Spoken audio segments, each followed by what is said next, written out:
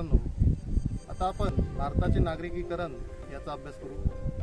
विद्यार्थी मित्रांनो भारतीय उपखंडाला फार प्राचीन असा इतिहास लाभलेला आहे. या भारतीय उपखंडातील लोक अनेक पिढ्यांपासून नदी किनाऱ्याजवळ डोंगरावर तसेच पठारावर राहत आलेले आहेत. भारताच्या नगररचनेचा विचार जर करता भारतात अनेक प्राचीन शहरांचे अस्तित्व होऊन गेलेले आहे. उदाहरणार्थ हडप्पा मोहनजोदडो यासारख्या प्राचीन शहरांचा विकास हा भारतीय भूमीवर झालेला आहे भारतीय उपखंडात झालेला आहे. यावरून आपल्या लक्षात येते की भारताच्या नागरीकरणाची सुरुवात ही प्राचीन काळापासून झालेली आहे. इयत्ता दहावी विषय भूगोल प्रकरण सातवे मानवी वस्ती. भारतातील नागरीकरण. नागरीकरण. एकूण लोकसंख्येपैकी किती टक्के लोक शहरात राहतात यावरून नागरीकरणाचे प्रमाण ठरवता येते.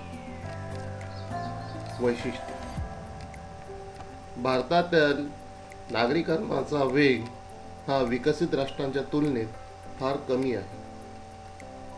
भारतातील नागरीकरणाचा कल हा दोन हजार अकरा साली एकतीस पॉईंट दोन टक्के एवढाच होता. असे असले तरी भारतातील नागरी लोकसंख्येत सातत्याने वाढ होत आहे. यातूनच उदयास आलेली नवीन शहरे त्यांचा वाढता विस्तार त्या शहराबाबतचे नियोजन इत्यादी बाबी महत्त्वाच्या झालेल्या आहेत. बघा विद्यार्थी मित्रांनो आपण भारताचे नागरीकरण या घटकाचा अभ्यास करीत आहोत. तर नागरीकरण म्हणजे काय?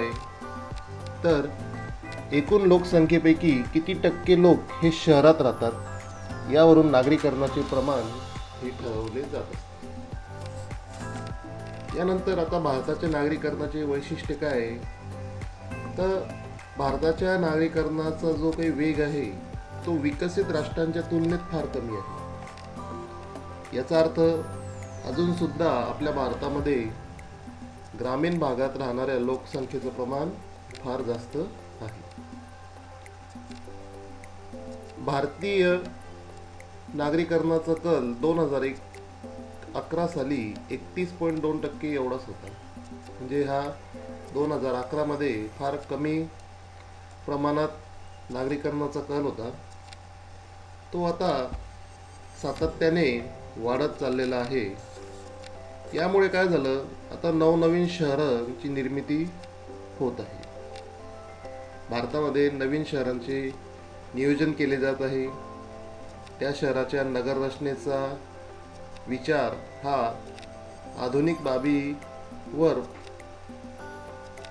आधारलेला असून या शहरांच्या बाबतीत च्या मनामध्ये अनेक नवीन कुतूहल निर्माण झालेले आहे.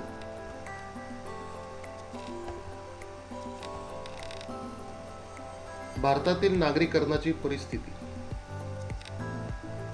भारतात उत्तरेच्या तुलनेत दक्षिणेकडे नागरीकरण जास्त झालेले आढळते.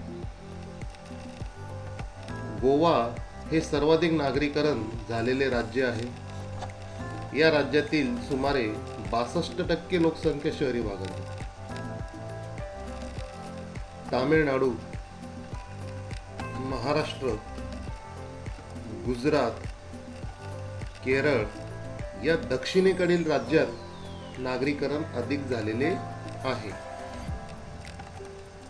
उत्तरेकडील हिमाचल प्रदेश जम्मू काश्मीर उत्तराखंड बिहार राजस्थान या राज्यात नागरीकरण कमी झालेले आढळते.